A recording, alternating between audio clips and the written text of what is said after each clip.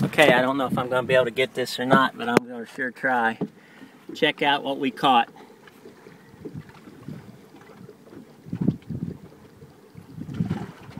A spoonbill. That is rare as hell. Cool, huh? I'm going to get it back in before it dies. Anyway, pretty neat. Up close.